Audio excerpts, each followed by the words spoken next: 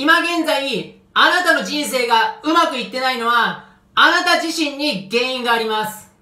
人生は、周りに流されたり、環境や運命に翻弄されたりしますが、結局のところ、その人生をあなたが選んでるんです。あなたが選択してるんです。あなたが決断しているんです。だから今のあなたの人生なんです。誰かが決断して決めたわけじゃないです。あなたが決めたんです。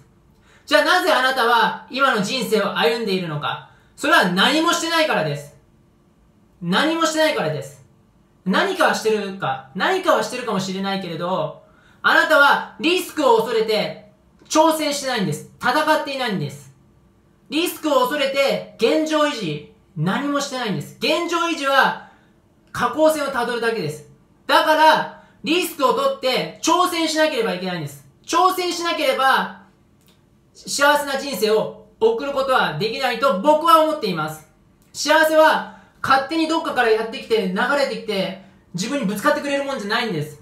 自分で幸せを掴み取らなければいけないんです。これは人生でも、あの、国家とか政治とか、えー、何でも一緒だと僕は思っています。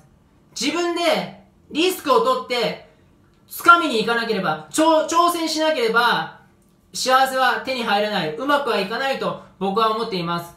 現状をくすぶっていて、今うまくいってない、辛い、幸せじゃないって思っている場合は、あなたに原因があるんです。